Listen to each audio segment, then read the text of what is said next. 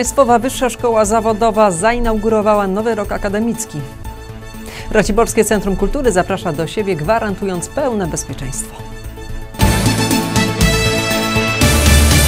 Zuzanna Schroeder, witam we czwartek i zapraszam na wiadomości.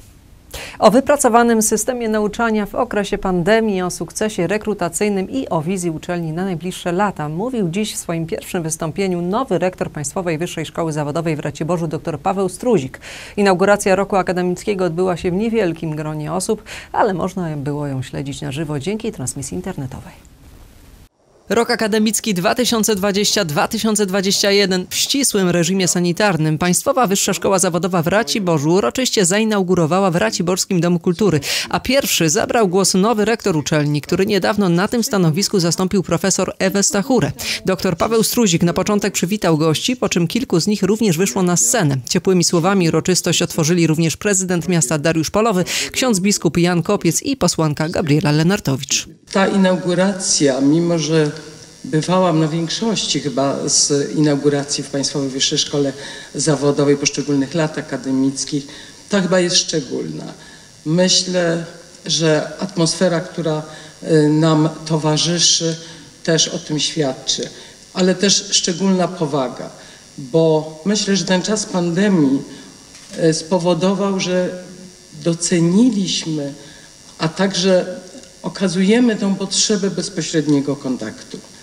Widać po, po tym, jak bardzo łakniemy siebie nawzajem, w tym najbardziej ludzkim wymiarze, bezpośredniego, a nie tylko elektronicznego e, kontaktu, jak nam to jest potrzebne, żeby taka inauguracja była rzeczywista, a nie online tylko.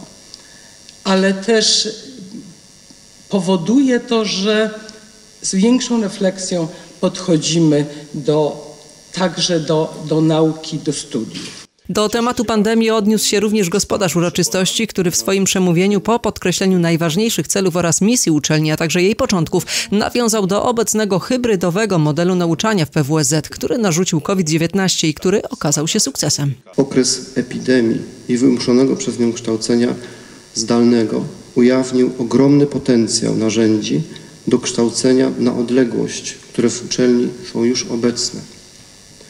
Dostosowanie procesów dydaktycznych do panujących warunków epidemicznych jest już w dużym stopniu zrealizowane. Wypracowaliśmy narzędzia do nauczania synchronicznego i asynchronicznego. Dzięki wytężonej pracy uzyskaliśmy stabilizację dwóch ważnych obszarów dydaktyki przekazywania wiedzy oraz testowania.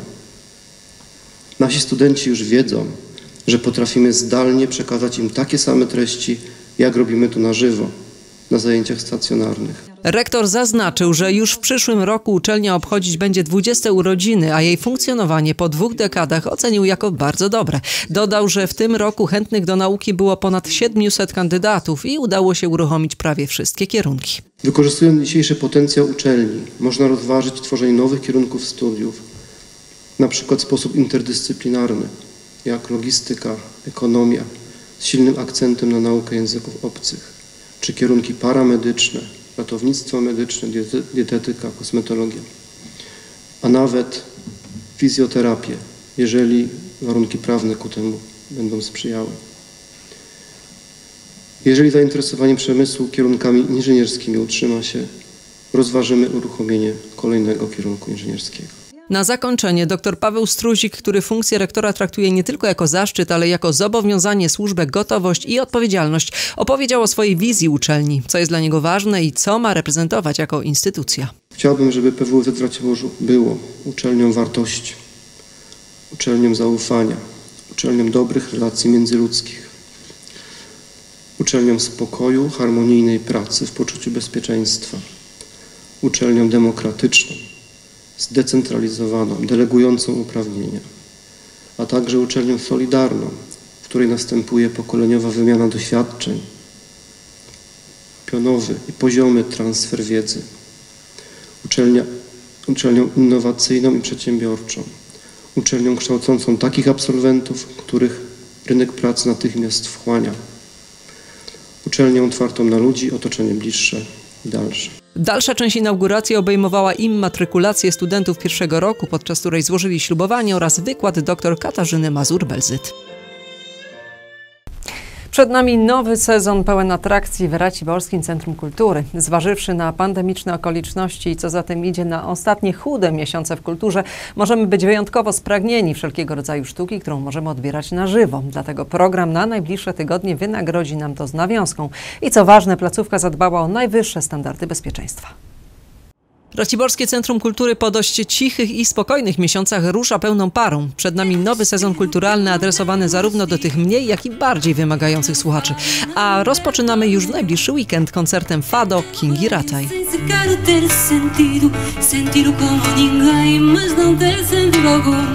Fado styl y, narodzony XIX wieku w Lizbonie, w dzielnicy Alfama, który rozprzestrzenił się na cały świat i będzie nam ten koncert, który będzie troszeczkę właśnie mieszanką fadu, czy jak Portugalczycy chcą fadu, e, jazzu, także swingu, będzie nam to wszystko e, mm, przypominało lato, no bo Portugalia, słońce, teraz zrobiło się dosyć, dosyć chłodno, więc tym bardziej rozpoczęcie sezonu w takich e, gorących e, rytmach. Co ponadto? Otóż oferta RCK jak zwykle jest bardzo różnorodna. Poza koncertami możemy liczyć też na spektakle, kabarety, stand-upy czy wieczory autorskie. Serdecznie zapraszamy w listopadzie na przykład na e, wystawę poświęconą Leopoldowi Tyrmandowi, bo mamy w tym roku rok, rok tyrmandowski. E, będzie to e, wystawa, po której będzie oprowadzał autor tej wystawy i tam zobaczymy na przykład zupełnie nieznane i niepublikowane wcześniej fotografie. To będzie połączone z koncertem jazzowym,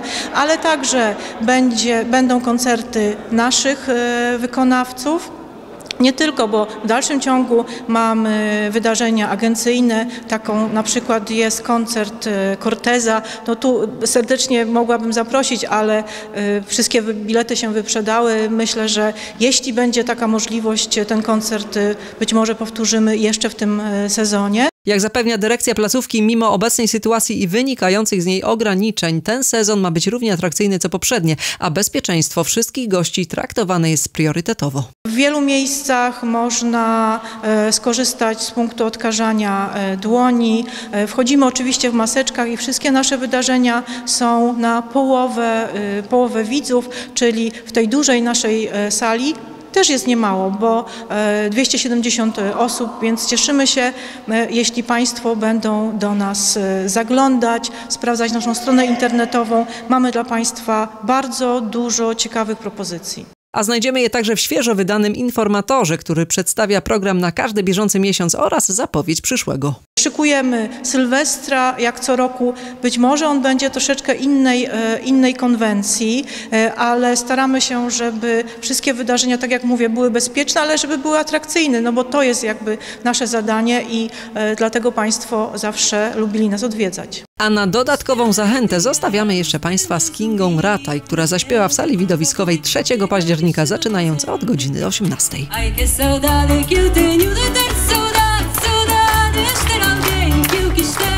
existe Sentir-me triste só por me sentir tão bem Ela me sentir bem eu andar tão triste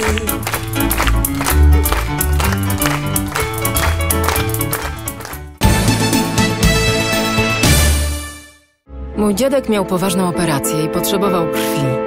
Pomyślałam, okej, okay, to chyba nie powinien być problem. Są przecież jakieś laboratoria, jakieś banki. Może to będzie trochę kosztowało, ale na pewno da się coś załatwić. Ale to nieprawda. Krwi nie da się załatwić, nie da się jej wyprodukować. Dziadkowi ktoś podarował krew. Może sąsiad? Ten, z którym zawsze kłócił się o psa? Ty też chwyć czerwoną nitkę, bo łączy nas krew, która ratuje życie.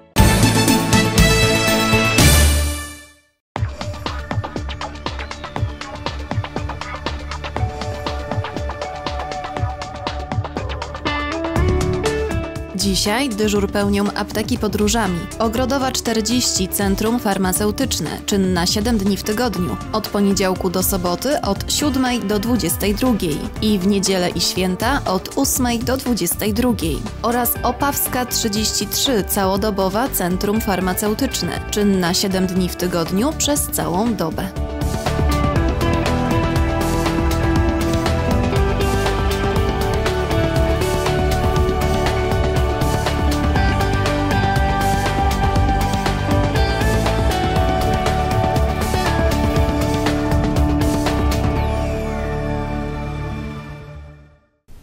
I z wiadomości to już wszystko. Dziękuję za uwagę i czekam na Państwa jutro o 18.30. Do zobaczenia.